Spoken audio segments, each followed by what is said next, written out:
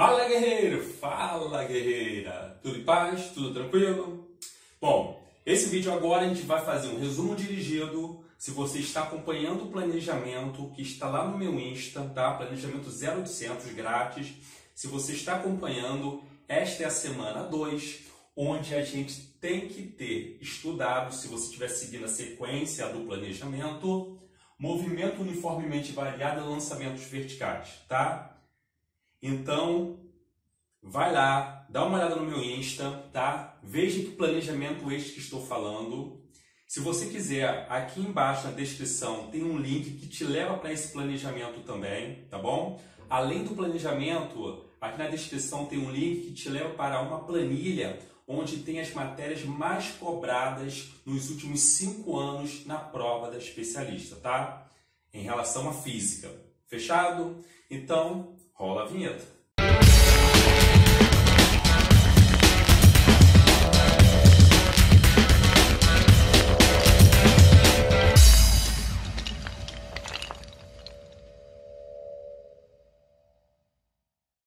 E aí, galera, beleza? Lembrando que esta não é uma aula completa, tá? O foco aqui é fazer o resumo dirigido destes dois assuntos que eu estou colocando aqui movimento uniformemente variado, movimento retilíneo uniformemente variado e lançamentos verticais e queda livre. Fechado? Se você quer a aula completa, aí esse material está lá na plataforma, tá? Que está com preço super maneiro, pagamento único, link na descrição. Aí você poder ver realmente todo o material em PDF, toda a aula completa, tá? Mas que não é o foco deste vídeo. Aqui já começando agora, sem enrolação, a gente tem que lembrar que se é um movimento retilíneo uniformemente variado, ou seja, o famoso MRVU, eu não posso esquecer que a trajetória ela é uma reta, tá bom? A trajetória ela é retilínea. Neste movimento, eu não posso esquecer também que a aceleração ela será constante, tá? Aceleração CTE, constante. A aceleração ela é responsável em fazer a variação da velocidade, em provocar a variação da velocidade. Só que a velocidade neste movimento ela não varia de qualquer jeito, ela varia de forma uniformemente, tá? A cada tempo que passa, ela varia na mesma proporção. Então, esta variação em um determinado tempo, ela também é constante. Cuidado para não cair em pegadinha, tá? Velocidade constante é MRU. Aceleração constante, MRUV. Variação da velocidade constante, MRUV. Claro que para CR tem que ser retilíneo, tá? Trajetória é uma reta. Tranquilo? Funções e equações que a gente pode, podemos usar nesse tipo de movimento. O que, que não pode faltar no seu resumo? O que, que não pode faltar? Que a velocidade final é igual velocidade inicial mais aceleração vezes tempo. Tá bom? Que é o famoso vovô e vovó ainda tentam, ou então voate. Outra que não pode faltar é da posição. Posição final é igual posição inicial mais velocidade inicial vezes tempo, mais a aceleração sobre 2 vezes t ao quadrado.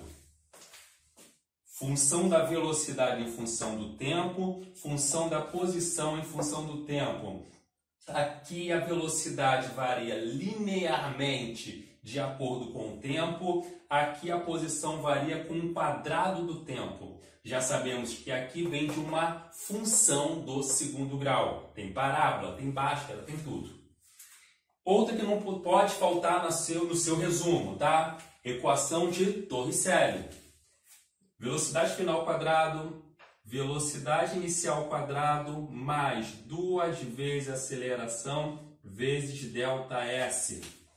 Deslocamento, aceleração, velocidade inicial quadrado, velocidade final quadrado vovô e vovó, mais duas amigas de um triângulo saudável. Fechou? frases aí que ajudam você a gravar estas fórmulas. Mas invente a sua, tá bom? Essa aqui todo mundo chama de sorvetão, tá? Porque é o sorvete grandão, tá? AT, dois em cima, dois embaixo. Tranquilo? Cálculo de velocidade média. Você pode continuar usando o ΔS sobre ΔT. Se você tiver o deslocamento, tiver a variação de tempo, você acha a velocidade média no MRUV. Mas para cá tem uma função, uma equação muito usada, que é a média entre as velocidades. Velocidade inicial mais velocidade final dividido por 2. Estas duas fórmulas te ajudam a calcular a velocidade média. E malandramente, se esta calcula a velocidade média e esta calcula a velocidade média, eu posso igualar as duas.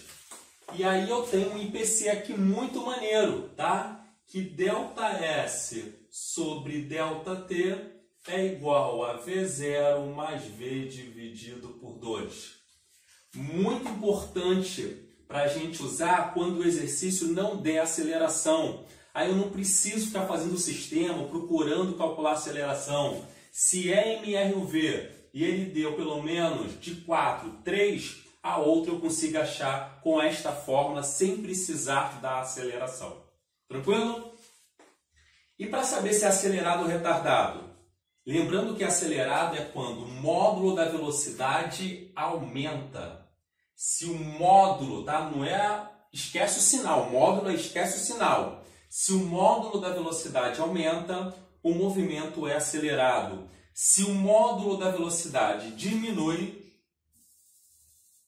o movimento é retardado.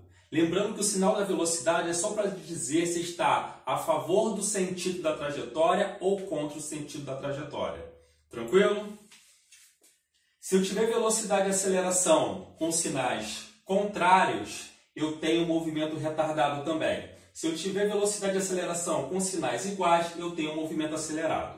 Então, tenho duas maneiras de observar. Ou observo pelo módulo, ou observo pelos sinais da velocidade e aceleração. Aqui, cuidado! Muita gente cai do cavalo achando que para saber se é acelerado ou retardado é só olhar o sinal da aceleração. Não!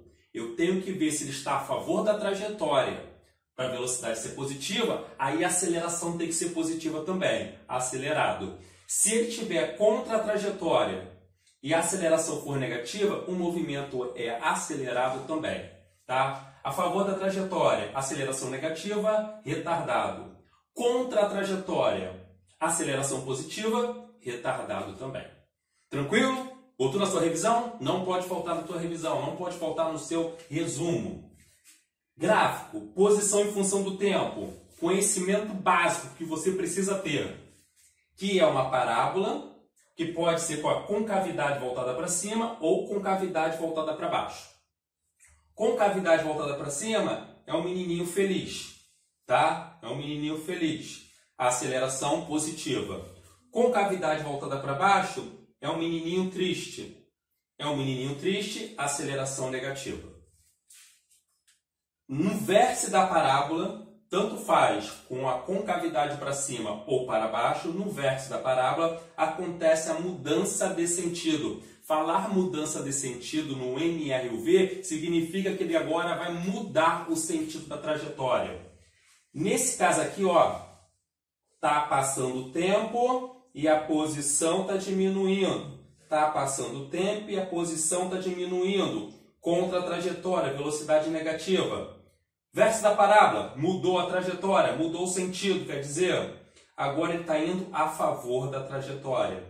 Agora a velocidade, ó, positiva. E aqui nesse caso, ele estava indo a favor da trajetória, subindo, a favor da trajetória. Aqui, velocidade igual a zero, mudou o sentido. E agora, ó, tá descendo, contra a trajetória. Tá bom? Então, isto não pode faltar no seu resumo e na sua revisão, tá bom? Vamos ver agora o que não pode faltar em relação ao gráfico da velocidade em função do tempo e em relação ao gráfico da aceleração e fazer aqui umas aplicações para você entender melhor este assunto. Fechado? Então, galerinha, só vou pedir uma coisa para vocês, tá? Não deixem de, se você estiver gostando, colocar gostei, se não estiver gostando, colocar gostei, tá? Isso é muito importante, essa interação é importante para que eu continue com esta série, fazendo este resumo dirigido para a prova da IA, até o final, tá? Mas eu preciso de que você me ajude com isso, fechado? Então, coloca aí, já agora, gostei, não gostei. E outra coisa, não deixa de fazer a sua inscrição no canal, tá? Se inscreva no canal, aí ativa o sininho, para quê? Para que esse vídeo apareça para mais pessoas. Tranquilo? Vamos ajudar todo mundo a entender melhor e fazer o seu resumo de uma forma mais correta. Tranquilo? Estou com você? E outra coisa que vamos lembrar, esta aula não é aula completa. A aula completa está na plataforma. E parar, ficou faltando falar um bizu, ficou faltando falar aquilo estes bizus específicos, entendeu? A parte mais aprofundada da matéria está na plataforma, tá? Se quiser saber mais sobre a plataforma, dê uma olhada na descrição do vídeo. E por último, não deixe de pegar o seu planejamento e a planilha para você ver quais são as matérias mais cobradas na prova. Tá bom? Tá comigo? Então, continuando aqui. Continuando a falar agora dos gráficos, só que agora é o gráfico de velocidade em função do tempo. Neste gráfico, a área, tá? A área é numericamente igual ao ΔS, igual ao deslocamento. Isto não é novidade para você, até porque lá em MRU, se você não viu, dá uma olhada, tá bom? Deve aparecer algum card aqui, beleza? Dá uma olhada lá na aula de MRU que a gente falou sobre isso. Neste gráfico, já que a velocidade varia, a gente tem uma reta subindo ou descendo cujo cateto oposto sobre o cateto adjacente será igual à aceleração, tá? Variação da velocidade daqui para cá em função da variação do tempo. Não pode faltar no seu resumo. Fechadinho? E se tiver um gráfico de aceleração em função do tempo, o que tem que ter no seu resumo? Na sua revisão? Que não pode deixar de lembrar que a área é numericamente a variação da velocidade. Caiu um gráfico, aceleração em função do tempo, esta área é a variação da velocidade. Fechadinho? Tranquilo? E aqui, lançamento vertical para cima, lançamento vertical para baixo e queda livre. Queda livre, a velocidade inicial é zero, ele é abandonado, tá bom? Lançamento vertical para baixo, você fez um lançamento para baixo, então ele tem uma velocidade inicial diferente de zero. Deixa eu falar uma coisa aqui. Muitos livros fala que isto aqui é queda livre, isso aqui é lançamento vertical para baixo. Mas na verdade, os dois, se a gente desconsiderar a resistência do ar, eles são queda livre. A diferença é que este corpo é abandonado e este corpo é lançado, tá bom? Mas os dois são classificados como queda livre onde você desconsidera a resistência do ar. Entendeu? Alguns livros não falam que queda livre é esse quando é abandonado, lançamento vertical para baixo é esse quando é lançado. Os dois são queda livre. A diferença é que um é abandonado e outro é lançado. Tranquilo? E lançamento vertical para cima, ele é o mais completo, tá? Você lança com uma velocidade inicial, ele vai chegar a uma altura máxima vai mudar o sentido da trajetória. Opa, na altura máxima, velocidade final aqui é zero. Velocidade zero vai mudar o sentido da trajetória e agora ele vai cair. Tá? Este conceito você tem que ter em mente, tem que ter no seu resumo. Fechado? Na subida, tá? Na subida, o movimento é retardado. Por que parar? Porque o módulo da velocidade ele diminui, tanto que ele chega a zero. E na descida, tanto faz que esse corpo agora vai descer, ou aqui no lançamento vertical para baixo, ou aqui na queda livre. Na descida, o corpo é acelerado. O legal, o interessante aqui do lançamento vertical para cima, é que quando ele atinge a altura máxima, a velocidade é igual a zero. Logo agora ele vai começar a cair. Logo, ele pode ser considerado um corpo abandonado, como se estivesse em queda livre. Entendeu o conceito? Tranquilo? Aqui são as funções, as fórmulas são as mesmas do MRUV. A única diferença é que agora o movimento retilíneo uniformemente variado, ele é um lançamento na vertical. Mas ele também tem uma aceleração constante, que é a aceleração da gravidade. Então eu uso as mesmas fórmulas, tá? A posição final de altura é igual à posição inicial de altura, mais velocidade inicial vezes tempo, mais gravidade tempo ao quadrado sobre 2. Velocidade final é igual a velocidade inicial mais gravidade vezes tempo. O que, que a gente tem que prestar atenção aqui, não pode esquecer, galera? Que aqui, na, no lançamento vertical para cima, se eu orientar a trajetória para cima, na subida, a velocidade é positiva, tá? Quando ele descer, a velocidade será negativa, tá? Desse aqui, ó. A favor na subida, positivo. Agora na descida vai vir contra a trajetória, negativo. Se a subida é retardado, então velocidade sendo positiva, o sinal da aceleração da gravidade entra aqui como negativo. Tá bom? Para ser um movimento retardado. Quando ele desce, ele vem contra a trajetória. Aí a velocidade é negativa e eu já botei a aceleração negativa, ele fica como acelerado. Isto é orientando para cima. Posso orientar para baixo? O exercício pode mandar orientar para baixo? Pode, mas aí esse bizu está lá na plataforma. Fechado? Agora, galera, no lançamento vertical para baixo, se eu orientar a trajetória para baixo, a velocidade é positiva. E como na descida é acelerado, a aceleração da gravidade é positiva. Queda livre, corpo abandonado, a favor da trajetória, orientando para baixo, velocidade positiva. E aceleração da gravidade, positiva também, mostrando que é acelerado. Entendeu esse lance? Tranquilo? Isto aqui tem que estar tá no sangue, hein? Isto aqui não pode faltar no seu resumo. Algumas fórmulas de bisus eu coloquei aqui, tá?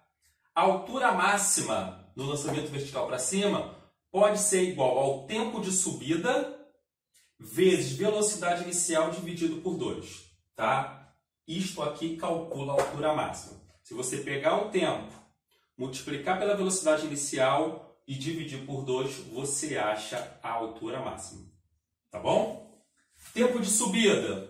No tempo de subida, você pode considerar como descida, isso aqui tudo some.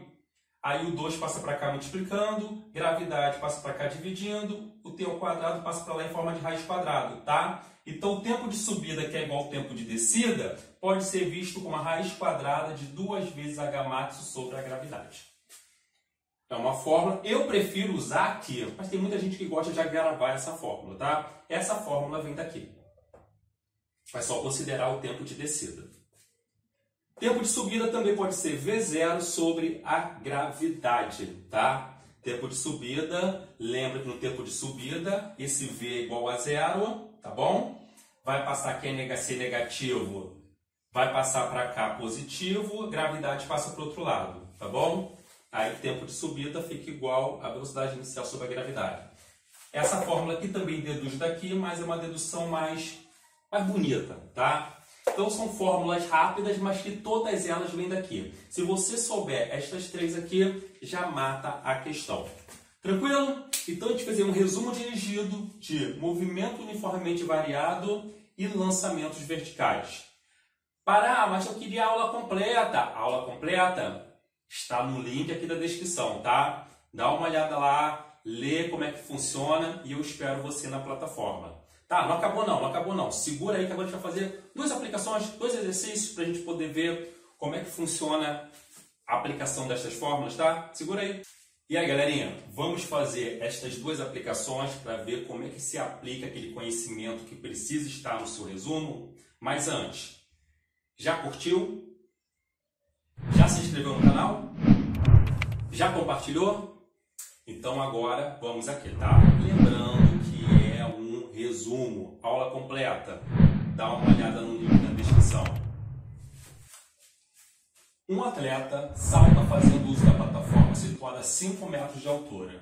Então a plataforma está a uma altura de 5 metros do nível da água.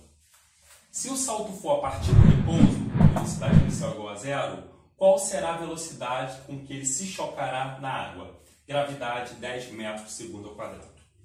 Então eu quero achar a velocidade final. Vamos lá. Posso usar a fórmula da altura?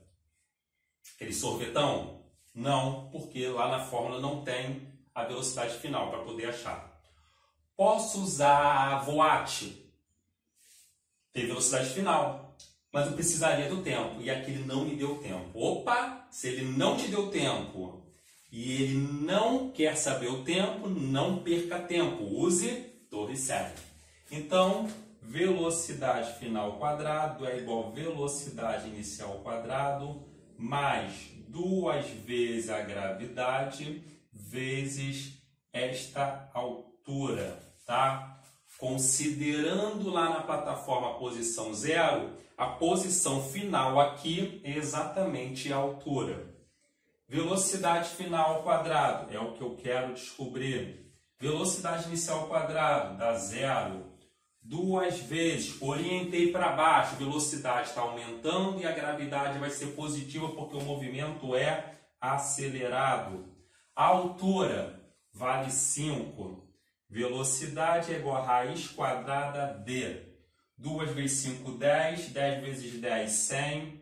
Logo, 10 metros por segundo.